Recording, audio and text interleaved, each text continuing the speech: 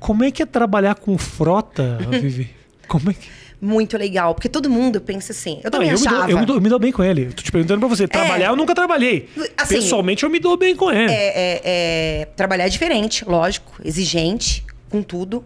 Eu lembro até de um episódio que eu, eu, eu gravava o programa e às vezes eu ia pra Juiz de Fora e assistia o programa no sábado. E eu vi que eu tava bem fora do peso. Falei, caraca, tem umas dobras ali. Eu fiquei olhando e senti. Falei, cara, o Frota, ele vai me ligar e vai falar algum. Mas não deu 10 minutos que acabou o programa. Ele falou: Ô, Vivi, tu tá gordinha, hein, cara. E aí eu tive que. ir. Ele falou assim: eu vou te dar uns 15 dias pra você emagrecer. E você vai voltar aqui pra gente te ver. E aí a gente vai ver se você volta a trabalhar com a gente ou não. Não. Porque imagina, ele trabalhava. Já era aquela coisa de, de Malhação. saúde, malhação.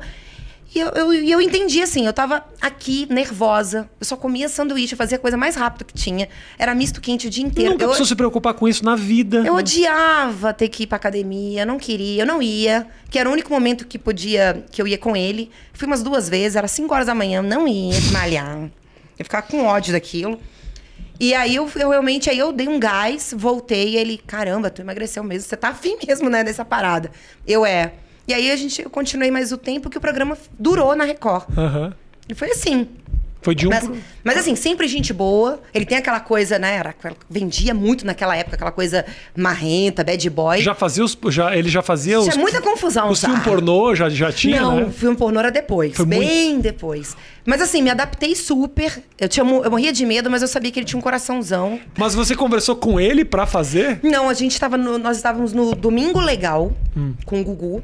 E tinha aquela coisa do time masculino e feminino, certo? Uhum. Eu estava apresentando a minha revista. Eu, tava, eu era a capa da Sex, então eu tava lá. E ele, a capa do filme dele.